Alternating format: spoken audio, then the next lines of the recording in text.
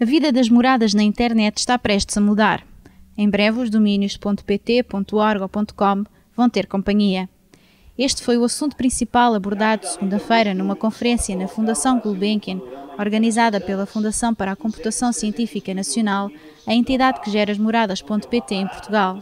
Em 2009 vamos ter muito mais domínios genéricos.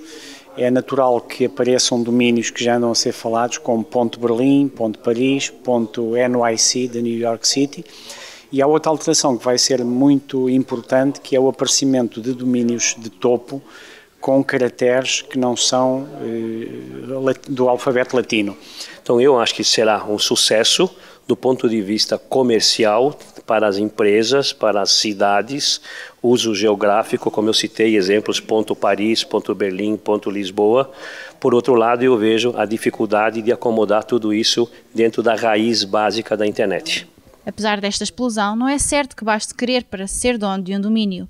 O ICANN o organismo que gera as moradas da web estabelece regras. O ICANN tem um conjunto de termos de referência para a criação de novos domínios de topo que pode também causar algumas dificuldades a essas marcas por eh, elas terem dificuldade em mostrar que para a comunidade internet global é importante existir esse domínio de topo.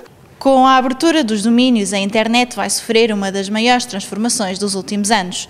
Assim, ao já conhecido .pt, .org ou .com, vamos poder passar a ter, por exemplo, um ponto Lisboa ou um ponto expresso.